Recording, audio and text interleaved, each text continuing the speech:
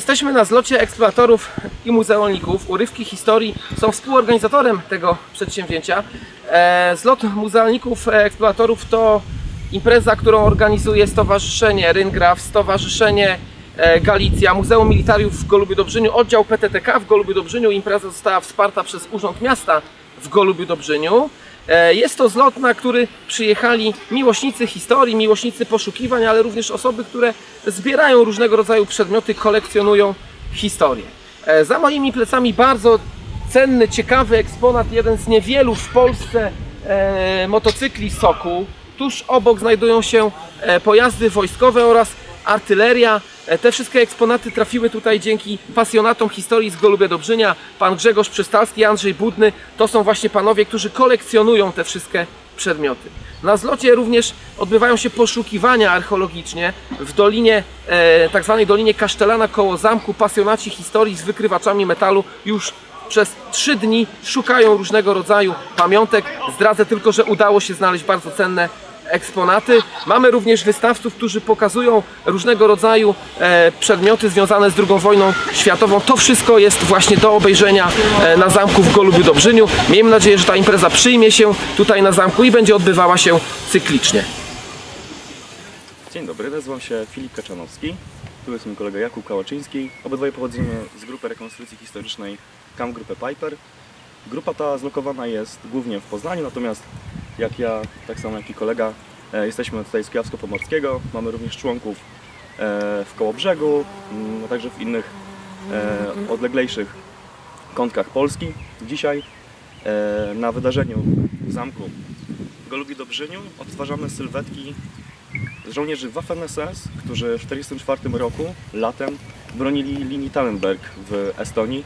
Razem z kolegą akurat odtwarzamy mm, żołnierzy z pododdziałów 20 Estońskiej Dywizji Grenadierów SS, ale u nas na diorami możecie Państwo e, znaleźć również e, kolegów odtwarzających sylwetki e, żołnierzy Waffen-SS z norweskiego pułku, a także duńskiego z 11 Dywizji SS Nordland.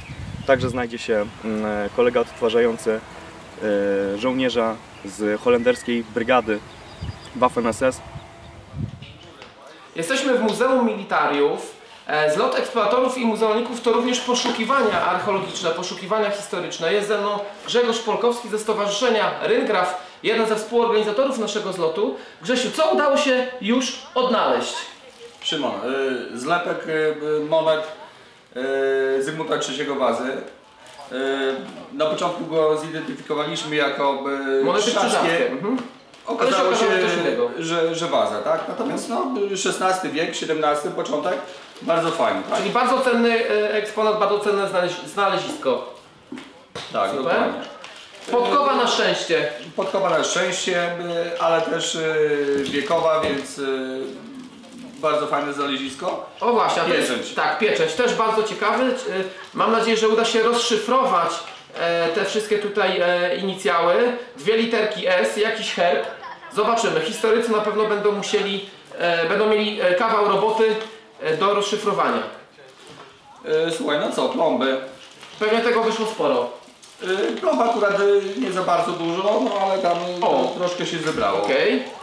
Y, Guzików wyszło więcej. O właśnie, Guzik super. Czyli. XIX wiek. Ten, ten. Wiesz co, z guzikami to by tak na, na, na dobrą sprawę, jeżeli chodzi o identyfikację, to nie wiadomo, no, y, raczej 20, wiesz. Okej, okej, XIX-XX, dobra. 19-20, no. Mhm, Tu, super. tu jest oficerski, Też pruski. albo podoficerski, tak. Mhm, dobra. Monety, druga RP, O, okres międzywojenny. Mhm, super. Y, Dwa grosze, tak? Tutaj są? Tak, dwa Tak, tu grosze. Mhm. jeżeli chodzi o identyfikację, to już y, bardzo łatwo. No i co, fajne do identyfikacji, bo przede wszystkim y, z Golubia, tak? Ale to nie jest moneta, tylko to jest jakiś, jakiś, jakiś znak To jest metalowy. y, psi numerek. Psi numerek. O, super, pokażmy do kamery. Psi numerek z Golubia, czyli y, rok 1922. Y, psy w Golubiu Dobrzyniu były również oznakowane. E, Słuchaj, co tu jeszcze z ciekawszych rzeczy? Guzik kontuszowy. O, to, to mnie właśnie ciekawi. To jest, słuchajcie, guzik, Wydaje nam się, że XVI wiek, więc tak, czyli jakiś szlachcic albo szlachcianka mogła zgubić taki guzik. Witamy na zlocie eksploratorów i muzealników e, w Goluby Dobrzyniu. Jest z nami Przemek Pietras, e, regionalista z Wąbrzeźna, który ma sporą kolekcję różnych przedmiotów związanych z II wojną światową. Powiedz Przemek, co jest w tej twojej całej kolekcji najcenniejsze, z czego jesteś najbardziej dumny? Y, Witam serdecznie. Bardzo się cieszę, że biorę udział razem z Wami na wystawie. Y, Kilka słów o tym, co posiadam. No, chyba najbardziej największą uwagę przykuwa repli- replika karabinu przeciwpancernego UR z UR 35. Wierna replika od utworzonego karabinku, ale wagowo bardzo zbliżona. No jest, jest ciężki, faktycznie. Dużo mam e, regionalnych pamiątek, to co mi się udało pozyskać e, z moich okolic, w okolicy Wąbrzeźna. Ale skupiłem się bardziej na pamiątkach e, wrzesień 1939 rok, jak i również e, stare zabawki. Zawsze to przykuwa uwagę dzieci. Tutaj mamy Przemek różnego rodzaju e, odznaki, odznaczenia są, e, jest, jest nasz polski orzeł, jest odznaka e, sprawności obronnej, tak, sportowej. Tak, Tak jest, tutaj mamy jeszcze jakieś inne. Powiedz mi, to są rzeczy pozyskane, wykopane. I o, tak, i tak, bo to ostatnio nawet odkupiłem orzełek z powstania wielkopolskiego w 90% e, ba- w pięknym stanie, nawet widać farbę. Tutaj, Także nie do, nie do pozyskania dzisiejszych i nie do kupienia na żadnych aukcjach. I no, z miesiąc temu ktoś jakoś go nabył na strychu i przyszedł tak do mnie. Super. Tutaj mamy w tej, e, w tej skrzyni e, e, pamiątki związane z wrześniem 1939 rokiem oraz z jednostkami, które walczyły na Pomorzu, rozumiem, tak? To nasze okolice, można powiedzieć 64 Pułk Piechoty Grudziądz, 67 Brodnica i 63 Toruń. Okej. Ty jesteś ubrany dzisiaj w mundurze też e, z 1939 roku. Mundur letni, drelich, ZUR 33. Super. Tu widzę jeszcze, Przemek pozwoli, że, że wyciągnę. Pokażemy też. E, plecak, e, polski plecak wojskowy, tak? E, oryginał, replika. Yy, replika, no oryginał bardziej nie do zdobycia, a jakbym miał oryginał to już bym poszedł gdzieś do muzeum. Po A, nie- rozumiem. nie ale, w, tutaj. ale na pewno e, odtworzone wszystko zgodnie. Tak, z, staram się całą sylwetkę żołnierza polskiego otworzyć w 100%. Super. Tutaj masz jeszcze także pokazujesz e, niemieckie plecaki. Tak, historia tornistra. Ostatnio nabyłem właśnie w moich okolicach ze strychu ten sierściuch niemiecki. Y, Co ciekawe, jest podpisany przez jakiegoś Niemca i najciekawsze na dole jest słabo widoczna pieczątka RADu. RAD 1 łamany przez 22, czyli jeden z dwóch obozów, jakie był w Wąbrzeźnie. Super, ekstra. Tu mamy też replikę słynnego polskiego e, hełmu salamandra, tak? Y, Raczej oryginał. Oryginał, o, no to Oryginał jest w ogóle, to jest super. 31 Salamandra. Dodam, że on nie jest brudny, tylko to jest dodanie skruszonego korka od wina do farby. Yy, taki nasz kamuflaż dla tego Salamandra i yy, można porównać inne hełmy, na przykład francuskie. One odbijały światło, bo były gładkie, a nasz już tak bardziej nie. Także wtapiał się w otoczenie. Przemek już e, ubrany, gotowy e, do zaprezentowania całej sylwetki. Brakuje tylko karabinu. Przemek, proszę powiedz mi, co to za broń jest? Yy, RKM ZUR-28 broń yy, belgijskiej konstrukcji, dokładnie amerykańskiej. Przyszedł do nas przez e, licencję przez Belgię i w 1939 roku już mieliśmy na, dość sporo takich na wyposażeniu. Super. Trochę mody- modyfikowaliśmy tego Broinga, dodaliśmy chłodzenie lufy, yy, spust czy dwójnóg, bo polski żołnierz bardziej był przystosowany, żeby się bronić niż atakować. Przemek, bardzo dziękujemy. Ja również dziękuję.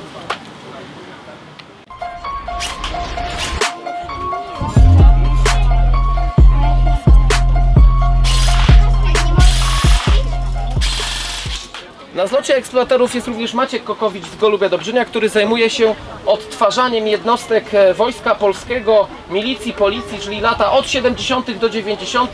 Maciek, powiedz, e, najcenniejsze eksponaty, które nam tutaj dzisiaj e, przywiozłeś, e, prezentujesz. Co jest takiego super? Myślę, że najciekawsze eksponaty to są e, te, które mają jakąś historię związaną e, z, na przykład z jakimś człowiekiem. Czyli z konkretną osobą na Tak, przykład. dokładnie. Mhm, super. Na przykład e, mogę tu pokazać bloczek pokwitowań, który był użytkowany. Nie jest to bloczek, który jest nowy, tak jak w przypadku bloczku mandat, mandatów karnych. Ten był używany, jak widać. Jest wypisany 77 rok. dokładnie. Są pieczątki komisariatu MO. Tu jakieś notatki, Notatki, tak. funkcjonariusza, jak widać nawet e, jakichś wymiarów, nie wiadomo czego to było, ale to używał jakiś milicjant właśnie Rozumiem. w latach 70. Okej. Co jeszcze mamy ciekawe? Bo widzę, mamy tutaj też e, gaz, tak? Tak. I to jest cała w ogóle e, e, torba, teczka, jak to, jak to nazwać? Raportówka. Raportówka, okej. tak. Jest to raportówka funkcjonariusza e, Milicji Obywatelskiej, w której znajdują się podstawowe przedmioty takie jak właśnie bloczek mandatów karnych, bloczek pokwitowań, notatnik służbowy, jak widać jest podbity pieczątką Mhm. Wojewódzkiego Urzędu Spraw Wewnętrznych. Zmotoryzowane odwody milicji obywatelskiej w Łodzi. Tak, jest. zgadza się. Mhm. Tu mamy też kaburę, kilka kabur. I To, ta jest e, biała. Dlaczego biała? Biała jest dlatego, ponieważ była używana przez y, Wydział Ruchu Drogowego Milicji Obywatelskiej i Policji i przez Wojskową Służbę Wewnętrzną. Okej.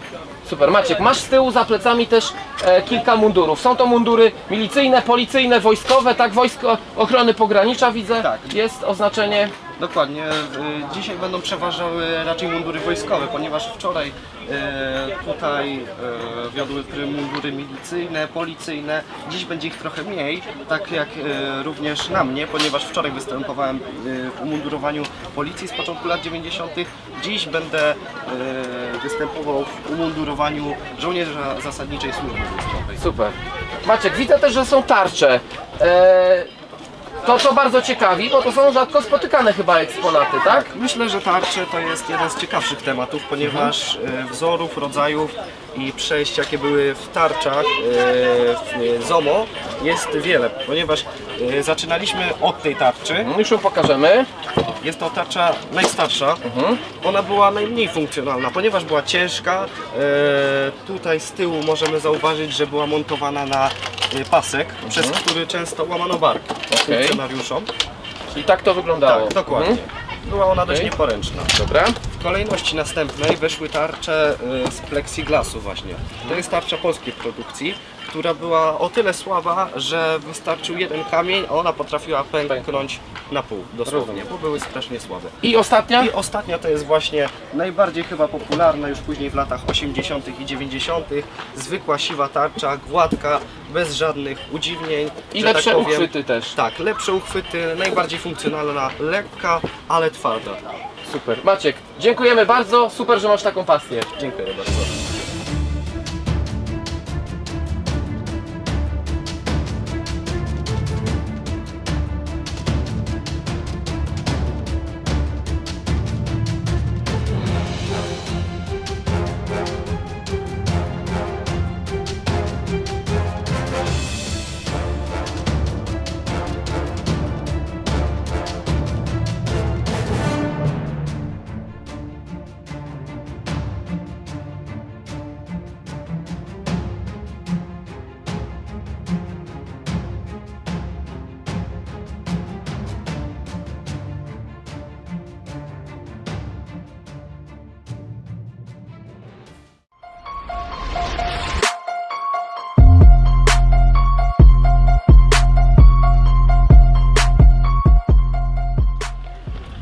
Na zlocie eksploatorów i muzealników w Golubie jest również Wojsko Polskie, Wojskowe Centrum Rekrutacji e, Zbrodnicy. Porucznik Grzegorz Ostrowski reprezentuje właśnie e, te centrum. Panie poruczniku, e, po co tutaj do nas przyjechaliście? Jaki jest cel waszej wizyty?